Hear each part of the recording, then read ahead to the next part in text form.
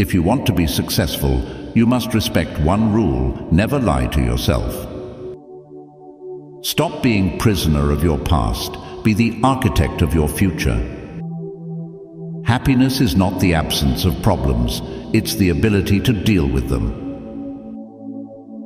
The journey of a thousand miles begins with a single step.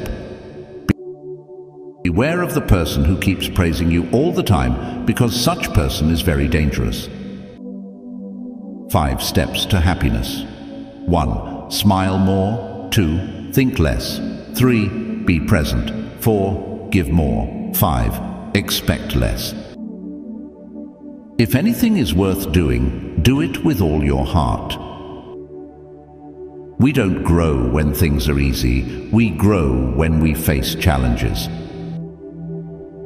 Never depend too much on anyone. Everyone changes when they meet new people. Best way to avoid disappointment is to not expect anything from anyone. A wise man will never tell a woman two things. One, his true feelings, and two, his balance. Don't use your energy to worry. Use your energy to believe, burn the past, turn the pages, move on. Never cry for that person who doesn't know the value of your tears. Difficult roads often lead to beautiful destinations.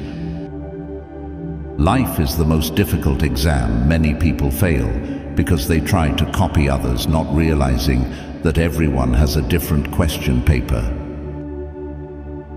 I don't have time to hate people who hate me because I am too busy loving people who love me. Trust takes years to build, seconds to break, and forever to repair. Never make permanent decisions on temporary feelings.